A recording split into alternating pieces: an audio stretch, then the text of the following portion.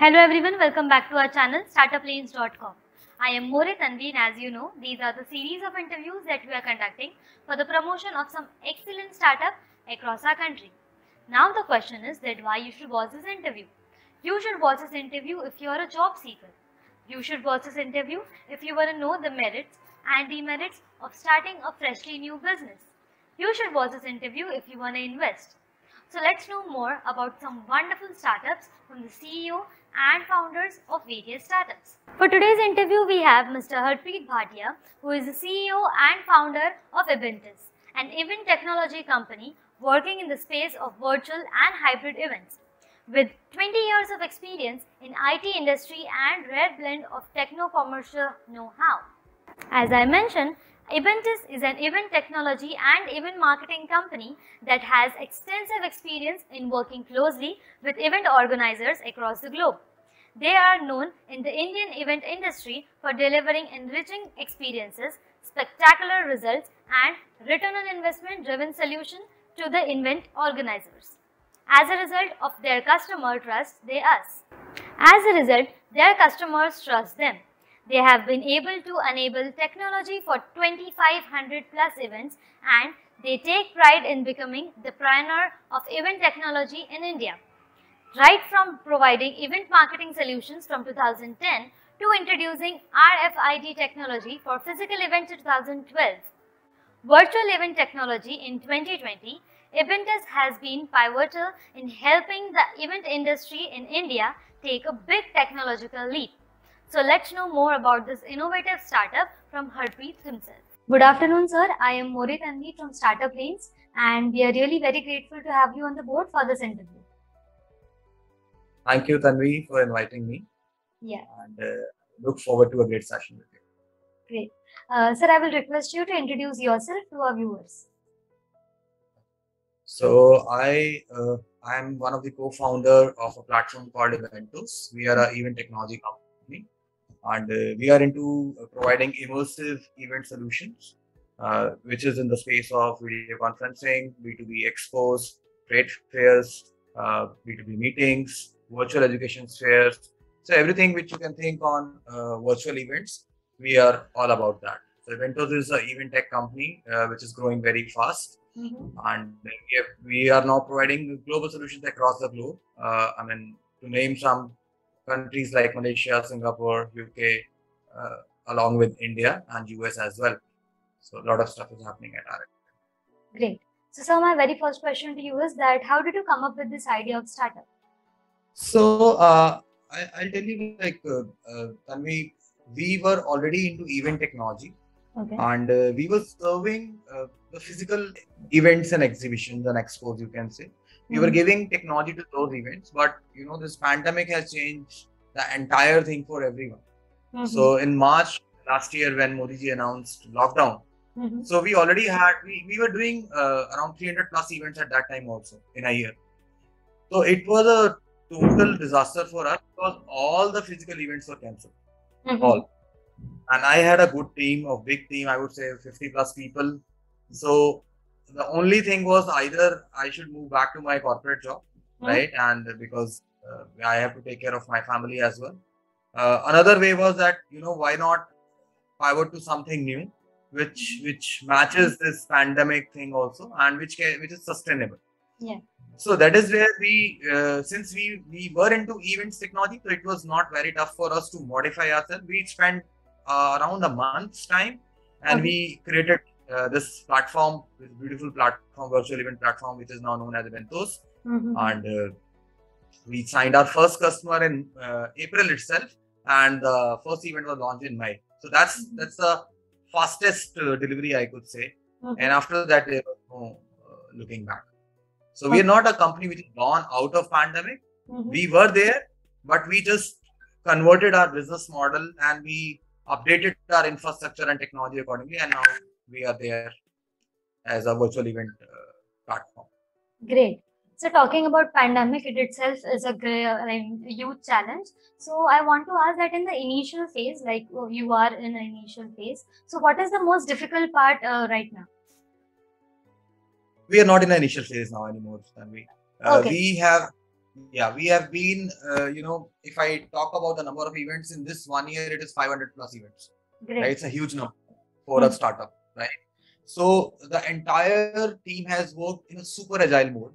Uh, I am really uh, grateful that you know in, in our initial start there were few companies who came forward and who trusted us, Mhm. right? That was the core part. I would I would like to say that there is a uh, company called Affairs Media and Exhibitions, Okay. and there is a company called Icon Media. Their Mhm. founders very closely with us and they trusted in us. That Mhm. is where we also uh, got an opportunity. Okay, let's build something, right?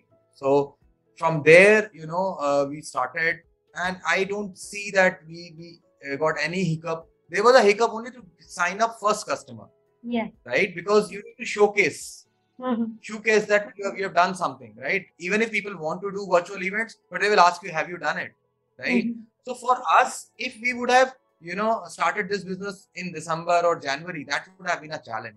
But we did not stop. And after the March lockdown, March 24th, I think Modi announced.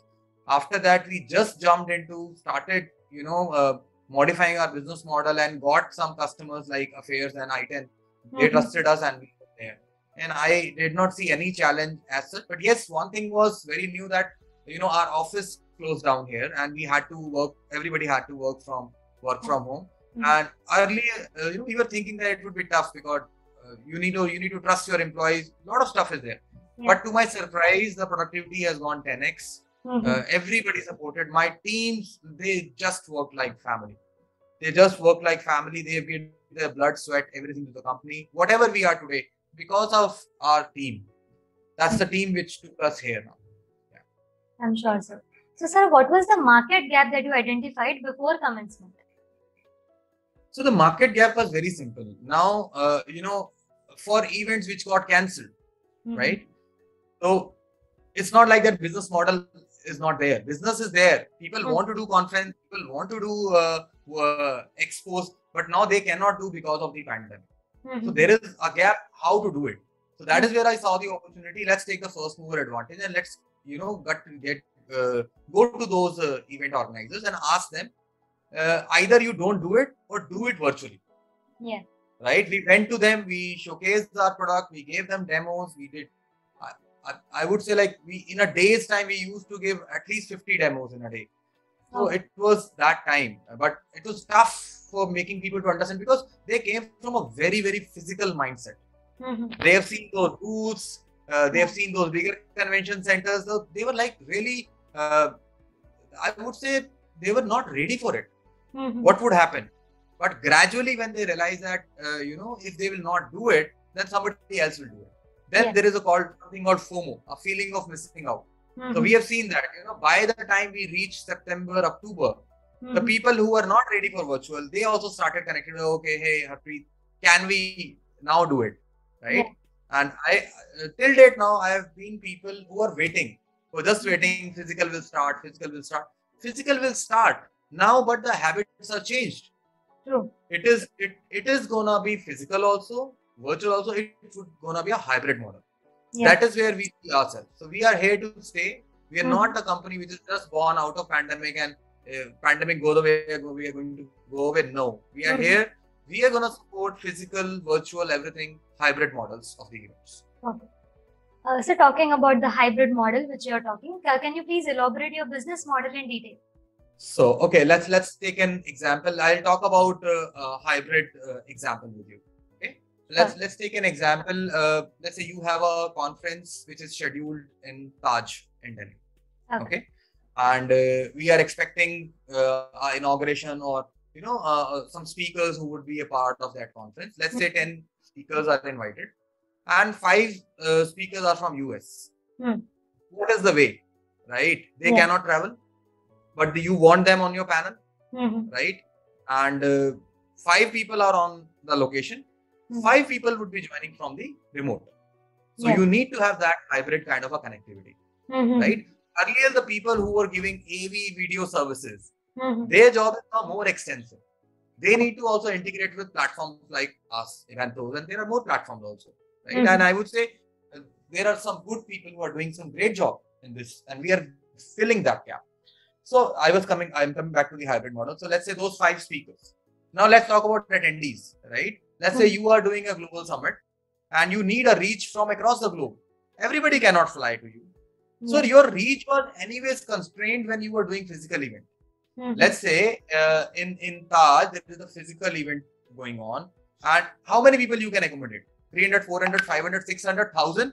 Max. There is a constraint of space. When it comes to virtual, there is no space constraint. Mhm. I can I can with my uh, you know the way we do viral marketing and events and all, I can even bring 50,000 people to the conference, and rest of the people are attending it virtually. Right. Hmm. So there is no comparison. There is no comparison what it used to be and what it will be. Mhm. The future is really bright for brands like us, companies like us, who are filling this gap. And uh, I still remember there, is a, there was a conversation between me and one of my, uh, you know, uh, one of the partners whom we work with.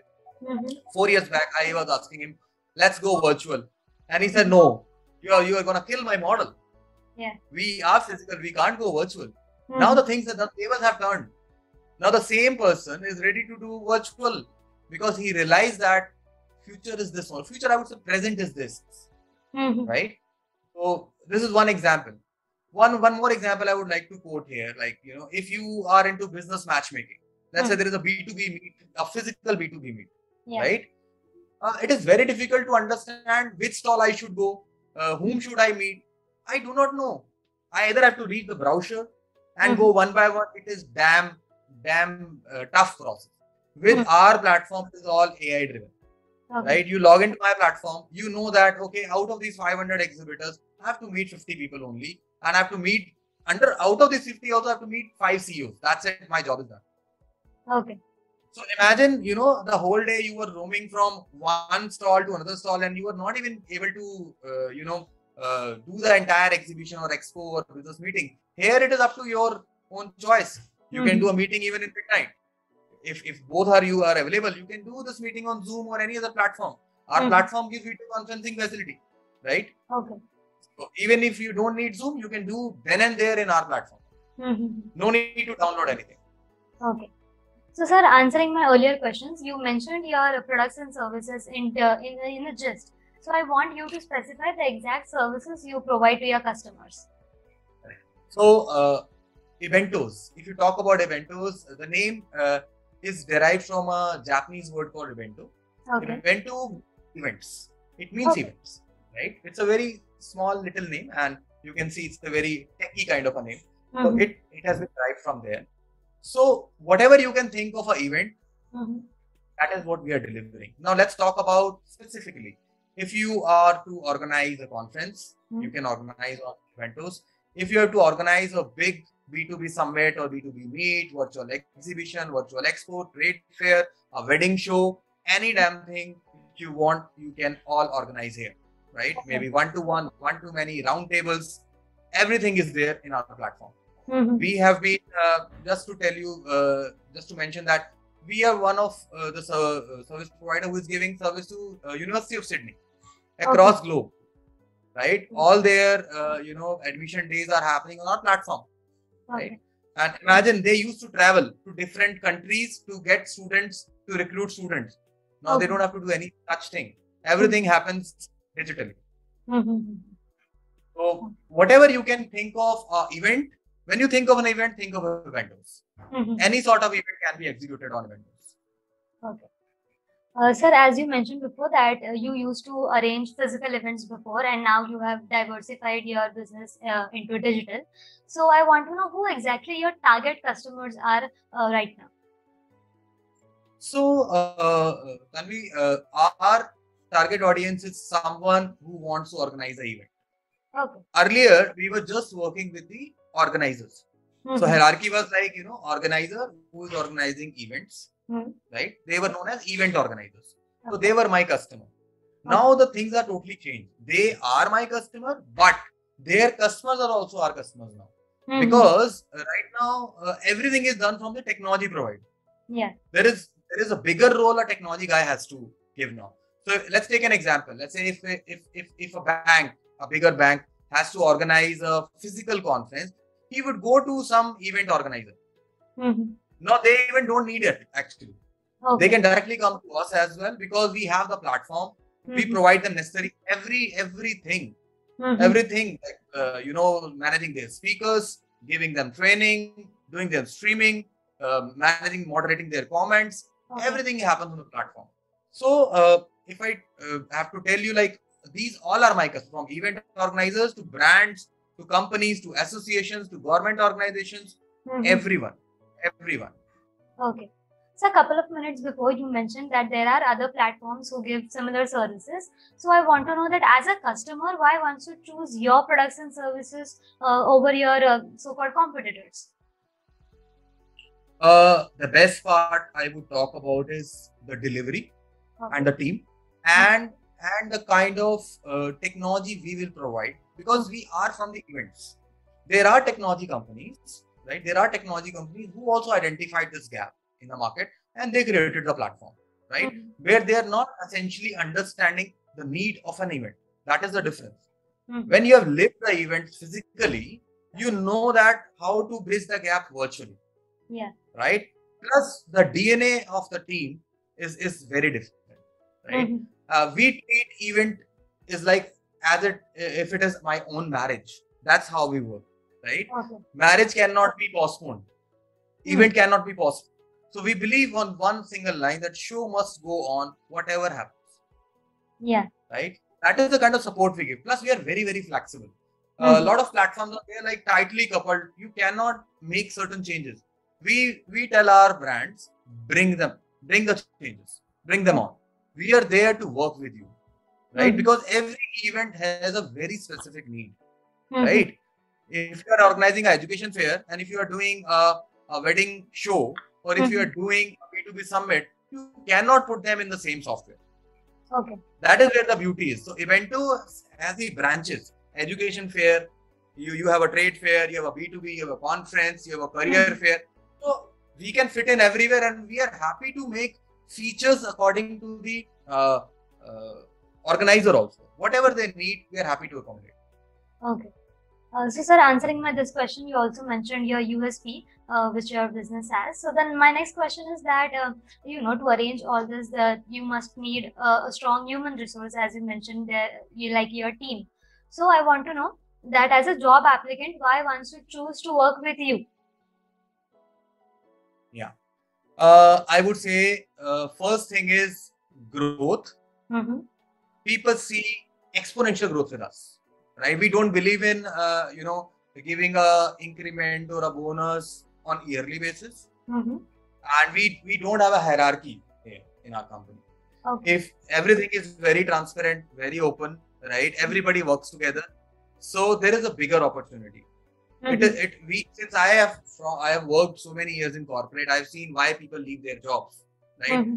most of the people don't leave the jobs because of the money they leave it either because of the boss or because of the uh, the political environment that is Environment. created Mhm. so from day one we have ensured that it is very it's like a family like a culture and people uh, you can work with your kid in your in your lab we don't mind it as far as you're delivering you're, Okay. you you can be with your girlfriend or your wife we don't mind while you're working at the end of the day what matters is the great delivery with happiness right Okay.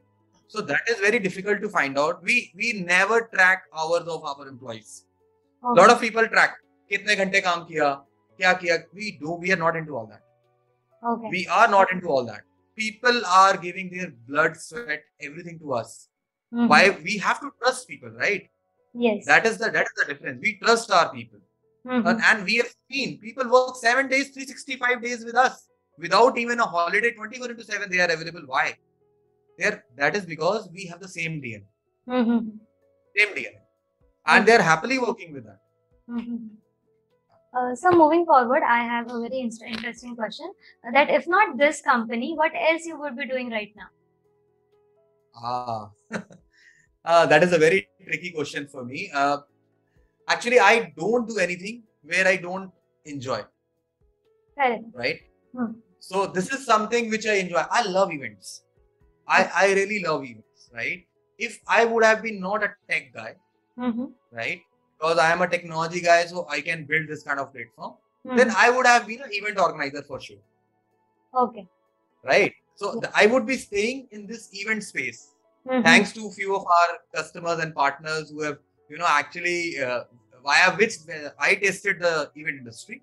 Mm-hmm. So I would have been into events only, but in a different tangent. I would have been owning some fairs in that Mhm. case, right? I would have done uh, maybe a maybe a career fair, or employment fair. I, Mm-hmm. I re- I'm really passionate about it. I believe that you know nowadays, if you talk about a job fair, generally what we talk about digital marketing jobs or technology jobs. Yeah. The life is beyond them, right? Life Mm. is beyond them. So when when it comes to my mind, if I have to organize a you know a, a career fair, I can start with a very grassroots person, Mm-hmm. right? Maybe starting from uh, a guard till the CEO. There is huge gap, Mm-hmm. right? So I would have been a event organizer in that case. Okay. Uh, sir, as you have turned digital, I want to ask that what are the products and services you are in daily uh, requirement of that helps your business to run smoothly? Yeah. So uh, we are a tech platform, no doubt about it, but we are into end-to-end delivery. Okay. So when an event comes, usually you will see platform says, okay, you can host the event with me, but I will not take care of your production. Mm-hmm. Here it is different. We say we will be taking care of our streaming also, your Hmm. videos also, editing also, storing also, storyboarding. We do a lot of stuff. So that is where we also need partners. We don't call them vendors, right? Yes. we we have certain partners who are giving us services like studios you might need a green uh, green shoot for your uh, audiences right Mhm. so we have tie-up with studios we have tie-ups with streaming uh, services companies as well right? We have uh, anyways if i talk about certain products we work very closely with aws we very we work very closely with uh, other service providers who are into this area. Mhm. because uh, just giving the platform is not going to solve the purpose because the brand doesn't know anything. You have to give them a to z. Certain things you will have certain things you will have right partner along with you. Mm-hmm. Uh, sir, on what parameters do you select your, uh, I won't say vendors, partners, and suppliers? So, is it uh, price? Is it convenience? Please elaborate. pricing comes on the last stair for us Sure. number one thing comes whether they can match our dna or not Mm-hmm. even my hiring comes when they can match our DNA. or not. If you can match my DNA, you are my potential uh, customer. You guys are my potential partner. Certain times we even say no to the customers. We can't work with you.